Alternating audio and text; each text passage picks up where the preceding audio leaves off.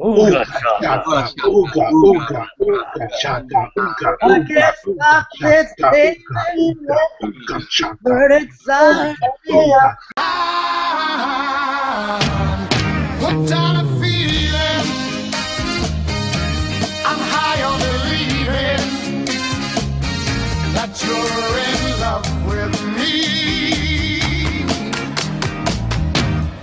We are here to do the spoiler review for Guardians of the Galaxy with my guest stars Adam Haskell from his Adam Haskell Vlogs channel, Brian Mendoza from his Brian Mendoza channel, and Jacob from his J53518 up? channel. If you want to check out our movie reviews, you could check out my movie review on my channel, J5's movie review on his channel. Um, Adam did one on his Adam Haskell vlogs along with Boyhood. And um, Brian, do you have any movie review for your channel or? Never been taking a break from YouTube now. I'm still gonna watch your guys' videos, of course. I think he uh, he wrote a review on Facebook. Yeah, I did. Okay then, let's go ahead and start off this spoiler review by talking about the opening scene. So the movie opened with Peter Quill as a little boy. He's in the hospital and his mother's dying, but Cancer. He gave her a present, which was obviously that 80s mixtape. So, hearing from everyone, starting with Adam, how did you feel about the opening scene of Guardians of the Galaxy? Very very sad, but I thought it was a really great opening. Honestly, When the movie started, I was expecting the Marvel logo to show up, right? And yeah. oh god, I felt sad. It like it kind of just like started, but I really liked that how it had like that opening, and then right after you get captured had like the Marvel Studios. I thought that was pretty epic. Yeah, because usually they oh, start off with the Marvel logo, but this time it, it, the movie just started off with Earth, 1988. It shows that whole set opening, then it shows the Marvel logo, then it cuts to Peter Quill being older now. So I thought that was pretty clever how Marvel just started the movie like that. And I do have to agree with you guys. I thought it was a very sad opening. I actually had two tears coming out of me. No shame in that at all. What did I think of the opening? I want to say uppish. No, but no. But then again, I was gonna make a joke, but it's not funny to make fun of someone who has cancer. Um, him as a boy, you know, we understand who he is. He's he's very preoccupied, and seeing his mom die of cancer, which is an idea, was very way out of left field. I was like, whoa, really, Marvel? You're hitting me with all this e- the feelings right now? I'm like, oh god. And him getting beamed up by aliens, I just, I just started searing. I kept thinking of you know uh, Klingons kicking him up. Duke, block, block, block, ich, Duke, block. I kept thinking Klingons were kicking his ass, but then ah, Marvel credits, and then I was ready. But then we later on clicked to 26 years later, and we see a grown-up Peter, played by Chris Pratt, going on the planet of what's the name of Krag, looking for a mysterious item called the Infinity Stone, which if you all know from your Marvel, um, you know, pre-Avengers, they are all the jewels that need that Thanos, Josh Brolin's character, needs to control the Infinity Gauntlet, a powerful weapon that controls the universe for evil. I and I really and I gotta say I really love that opening scene. Like he's just all dancing around. You see the Guardians of the Galaxy title, and then he's just all dancing around and, and having those creatures all over him. Did you guys think that was a silly little scene? I love him kicking the rats. That was funny. Kicking the little aliens. That was cute. I was when I was watching that opening scene, I was just thinking about Indiana Jones for a second. and we all know the most famous part of the beginning. Who are you? Who? Who? Star Lord, man. You know, legendary outlaw. Get him. Famous. I'm a famous bounty hunter. I'm. But I do What love you think of that um silly opening credits, Adam, with Chris Pratt just dancing and having those things in his mouth while near his mouth? Got me very ready for the movie. Got me very excited for the rest of it. it. 'cause that dancing. song I'll was just say I was dancing. I was dancing in the seats, you guys. I'm sorry. I was going like John Yeah. Travolta. Yeah. I was, Hey, I was- hey, hey, hey, hey, dancing queen. What the fuck? I was laughing when he grabbed one of them and pretended it was a microphone. I did like how he uses the the power suit he has, the space suit with the mask and the guns and the rocket boost. That was kind of cool, and it is from the comics, so that was pretty Yeah, cool the, to mask, see. the mask that he wears looks really cool on him. And the rocket boots, he can skate along space, which is pretty awesome. Ronan the Accuser, is our villain, played by Lee Pace. But who does he follow? Thanos, that Mad Titan, played by Josh Brolin of Old Boy. Oh, and speaking of Thanos, um, how, what'd you guys think of Thanos' brief two-minute screen time? It was very cool. I forgot to mention in the review, but I Uh, thought Josh Brolin did a really good job as Thanos. What about you, Brian? Oh, really? It Yeah. looked cool. My brother said he looks like Link in that chair for some reason. And then you, uh, Jacob, did you think Josh Brolin did pretty good as Thanos? he did fill the role. His voice was mighty and powerful at the galaxy itself. And he is in the chair because the guy's overweight. Yeah, true. The guy has so much muscle in his costume, he, he barely gets off his chair, really. But that's because he's a powerful being. And that we see that Ronan the Accuser, even though I think he's a little bit better than Malekith, sorry to piss off people who love Thor the Dark World, I love it too. We see that he also wants the Infinity Stone so he can wipe out Xandar. He made a deal with Thanos that if they wiped out Xandar, he'd still serve him in the galaxy. But if he failed, what did Thanos say? I will scour the blood with the celestial bodies with your body. That means he'll disown his ass. So, yeah. Oh, plus we also get introduced to Gamora, played by Zoe Saldana, and her sister Nebula, a cybernetic alien who's actually the daughter, along with her, of Thanos. Da-da-da. Now I want to hear from everyone. Who was your favorite character out of this whole movie? He's really a tie between Rocket Raccoon and Groot, honestly. I think they were both really awesome characters. Like you said in your review, Groot was very adorable, and Rocket Raccoon was badass. I Like that had thing where he's just swinging those guys back and forth, and then he just smiles. Yeah, what about you. Brian? Uh, who's your favorite character? Star Lord. He kind of reminds me a bit of Han Solo, I guess. I could see what you mean by that. What about you, Jacob? Your favorite character in the film?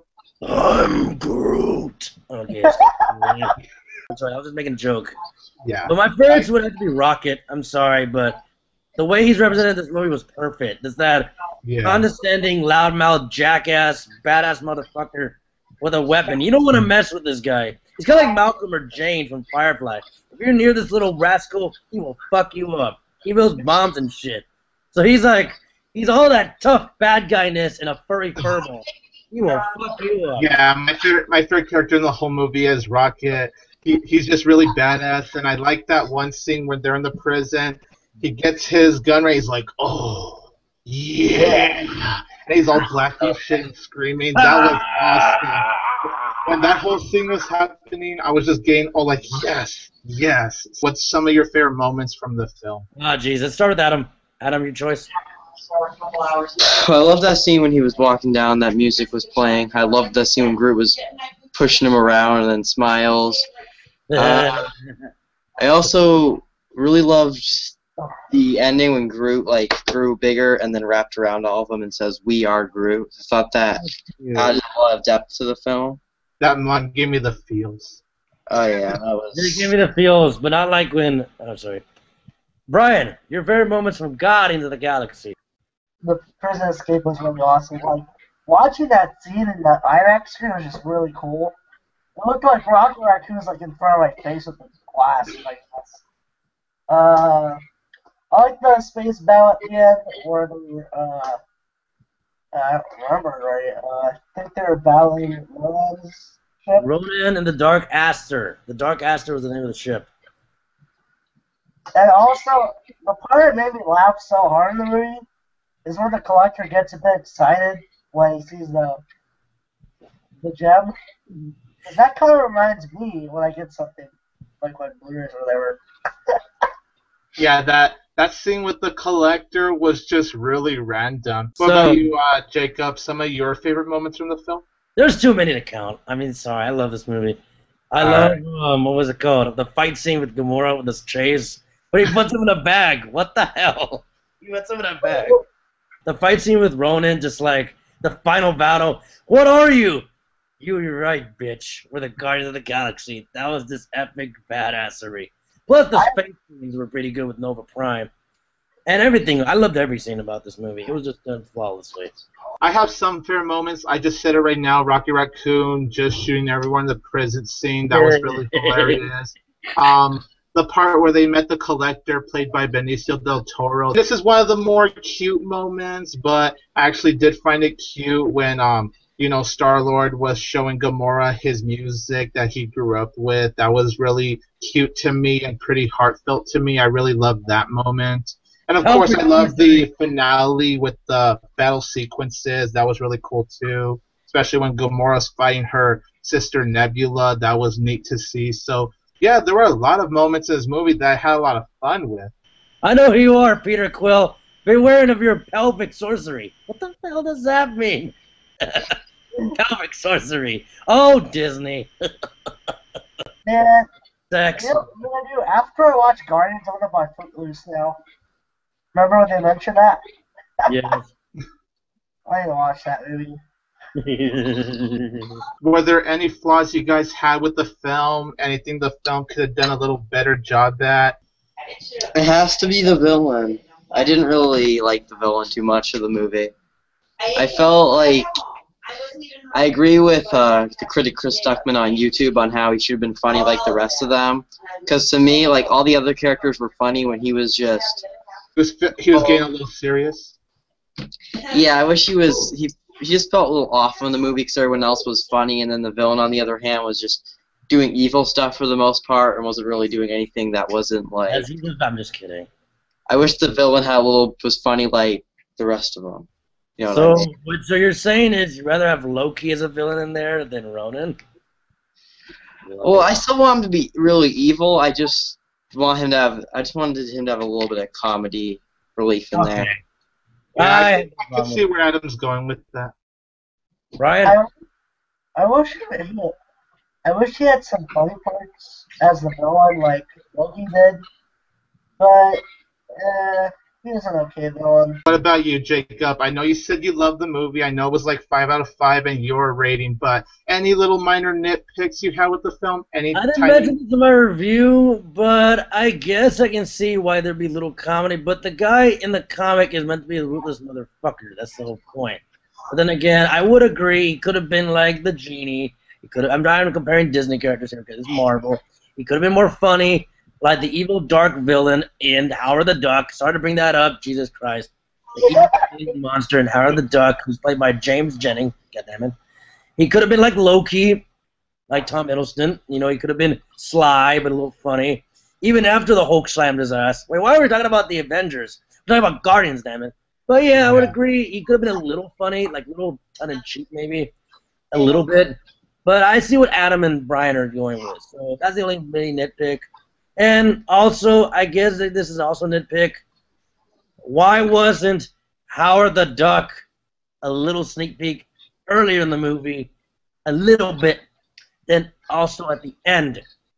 What the quack, man? my flaws, yeah, one of them is what Adam pointed out with Ronan. Not just Ronan though, but Nebula. I felt like both Ronan and Nebula were kind of bland villains. They really weren't anything exciting to me, anything too special. So, in terms of villains, the film did disappoint me. In terms of that, I thought Malekith from Thor: The Dark World was a better villain than the villains here. Like he wasn't the strongest, but at least I found him more interesting. So yeah, the villains could have been more more better, and like what Adam and Brian pointed out, they could have been more funnier instead of being a little too serious, a little too dark. Because this film was going for the comedy, but when the film cuts to them, it doesn't really. So I agree with you, t- uh, with the, all of you on that one. And then the other flaw I had was that while Dave Bautista did do decent as Drax, and I cared about the character Drax, I felt like Dave Bautista was just a little weak. Like it kind of felt like he was giving uh, giving the same face throughout the whole movie. Even when he gets all dramatic, it feels like his his face is just all still. He just wasn't as good as like the other actors in the Guardians of the Galaxy group. But that's really all I have for flaws, to be honest. So it's still a really awesome movie, though. Did you say it was flat? What do you say? Borderline flat? Yeah. I'm sorry. Like I said, he was just at least decent. So I guess we could talk about the after credits scene. So, Adam, your thoughts? All right. It was very the F credit scene. Well, it's not the credit scene, so obviously it was very quick. But I thought it was really funny. Even though I haven't seen Howard the Duck, I still knew who he was, obviously, because they uh, they they even put the name on the title, but I knew who he was anyways. Uh, I I still thought it was. It still made me laugh. It was it was really clever after credit scene they threw in there. Great little kind of cameo, I guess. Nice. Um, you, Brian. Uh, oh, Brian, I know you didn't get to see it, so, but um, you you know about the after credit scene, right? Yeah. And then you, Jacob, your thoughts on that random Howard the Duck cameo? Okay, here's something for you guys. Howard the Duck was created in 1973. Groot was the first one of the Guardians created. That's all I gotta say. I hate the movie with a goddamn passion, but seeing him, voiced by Seth Green, Chris Griffin, was funny as shit. Just seeing Vince the Total go like, what the fuck is that? Why is he looking? Why is he looking at you like that? I'm just saying. Tourist. Yeah, I, I gotta say, um, even yeah, Guardians of the Galaxy, first of all, is definitely a standalone movie. Of course. doesn't really have doesn't really have anything to tie with the Avengers: Age of Ultron.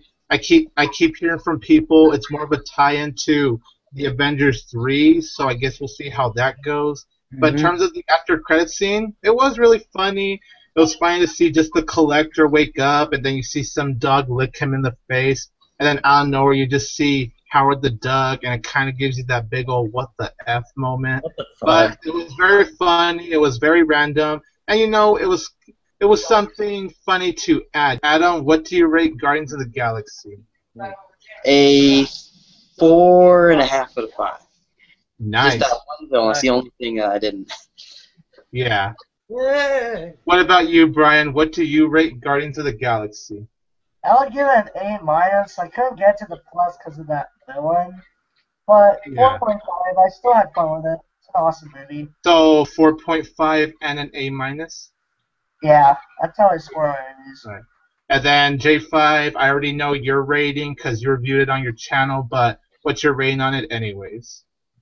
Okay, Alright. well, the phone tells you 5 out of 5. Correct. Okay. Um, if I had to do the 5 out of 5 thing, I would say 4 out of 5, but on my rating, from my movie review, I gave it 3.5 out of 4 stars. While it, it is not my favorite Phase 2 movie, it's still a freaking awesome movie and a film I'll definitely check out again in theaters and I'll definitely buy right away on DVD. Comment below your favorite moments from Guardians of the Galaxy. Go ahead and spoil away since this is a spoiler review. And also, please check out Mark Krawczyk's The Spoiler Room, where I got to be on his channel to discuss and spoil Guardians of the Galaxy with a bunch of other amazing people. I will leave a link in the description below. I want to thank Adam Haskell, Brian Mendoza, and J53518 for Thank guest starring in the spoiler review for Guardians of the Galaxy. And as always, I'm J5 signing off. See you on the other side.